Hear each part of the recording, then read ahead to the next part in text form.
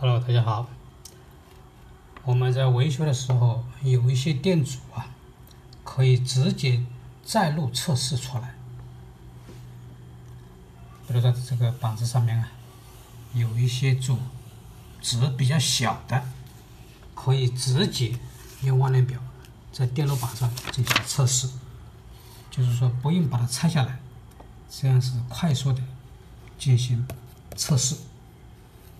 所谓小电阻，就是阻值一般几十欧啦，或者几欧啦，这样的电阻，我们就可以不用脱下来，直接用万年表测两个角，就可以判断它的好坏。比如在这个电磁炉这个板子上面，这颗电阻，这颗电阻 R。二十二，这也是个小电阻，是吧？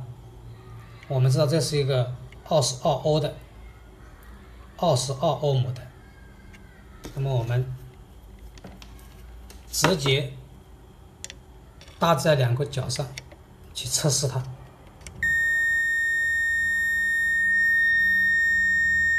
二十二点一，相当精准，是吧？相当精准，所以这个电阻我们就可以判断是好的。好，我们再看这个这个板子，这个板子上面我们要看这个电阻，R 二十，这个我们可以知道是一个多少？是一个十欧的电阻。那这个电阻是多是好是坏呢？我们一样的用万能表去测试它，直接测试这两颗角啊。我们看它的阻值显示十点二，阻值也相当精准，那证明这个电阻是好的。所以有的时候我们没有必要啊用电烙铁焊来焊去，有的时候焊来焊去可能会扩大故障，